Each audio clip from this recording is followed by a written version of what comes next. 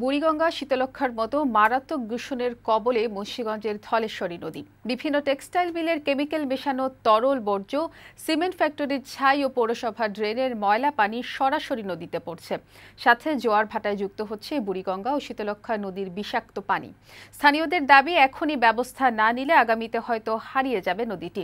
মুন্সীগঞ্জ প্রতিনিধি লাবলু মোল্লার তথ্যচিত্র desk report.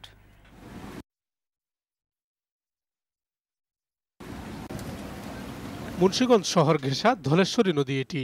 দূষণের কবলে পড়ে এক সময়ের স্বচ্ছ পানি ধারণ করেছে কালো রঙে। নদীর দুপাড়ে গড়ে ওঠা টেক্সটাইল ও ডাইং মিলের বিষাক্ত বর্জ্য সরাসরি পড়ছে ধলেশ্বরীর বুকে। পাশাপাশি পৌরসভার ড্রেনের পানি, সিমেন্ট ফ্যাক্টরির অ্যাশ ও জোয়ার ভাটায় বুড়িগঙ্গা এবং শীতলক্ষা নদীর বিষাক্ত পানি যুক্ত হচ্ছে। এতে দুর্গন্ধ ছড়াচ্ছে পানি থেকে। কিছু ফ্যাক্টরি প্রতিনিয়ত নদী দখল করে নেওয়া দিন দিন শুরু হয়ে যাচ্ছে ধলেশ্বরী। এতে করে চাঁদপুর বরিশাল সহ দক্ষিণবঙ্গের ছোট বড় নৌযানগুলো ঝুঁকি নিয়েই চলছে। আর দূষণের কারণে নদীতে মাছও পাওয়া যাচ্ছে না। ধলেশ্বরী নদীর অবস্থা ঠিক শীতলক্ষা বুড়িগঙ্গার মতো হয়ে গেছে। সরকার চোখের সামনে এসব হচ্ছে।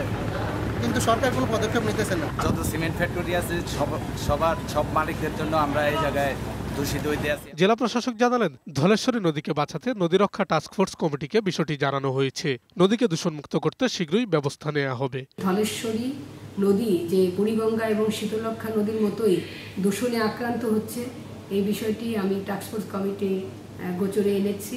শিল্প কলকারখানার কলকারখানার মালিকদেরকে নানাভাবে মোটিভেট করার চেষ্টা করছি যে তারা বর্জ্য যেন নদীতে আহ, নিক্ষেপ না করে। ধলেশ্বরীকে দূষণের হাত থেকে বাঁচাতে এখনই পদক্ষেপ নেওয়ার দাবি স্থানীয়দের। ডেস্ক রিপোর্ট বৈশাখী সংবাদ।